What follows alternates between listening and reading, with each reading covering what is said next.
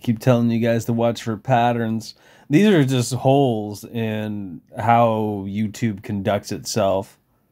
It just cracks me up. I mean, YouTube still has fucking porn on here. And it's still fucking, and this is shisty as shit. You can still find underage porn and other shit like that. They cracked down. They used to really have a bunch of that shit out there. All kinds of fucked up crap. Point to that being uh, part of how they rolled. This is a shit presentation, pardon me. How our masters uh, started making you jump through hoops and say, this video is not made for kids. This video is made for kids. Blah, blah, blah. So if you look on here, I just uploaded something. The one below it says never ending train of fuckery. If you type the word fuck in the title section, it will be flagged and it will automatically be lumped into one of those categories. And I mean, this is good. I mean, kids do have access to the internet, unfortunately. so there's a lot of shit that they probably shouldn't see for the most part. And I frown on censorship, but I also frown on corrupting fucking children, um, and or exploiting children having to do with the other stuff. And that stuff's on most of the social engineering platforms to varying degrees, but most people don't fucking realize it.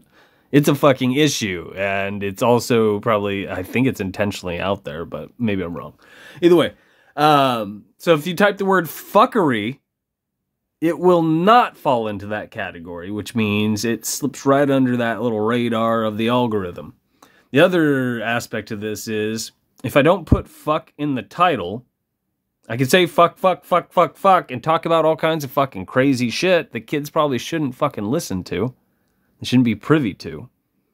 And that doesn't fall into that category either, which could mean that YouTube hasn't spent the money and or they don't have a sophisticated algorithm that's picking up on all of the words and whatnot.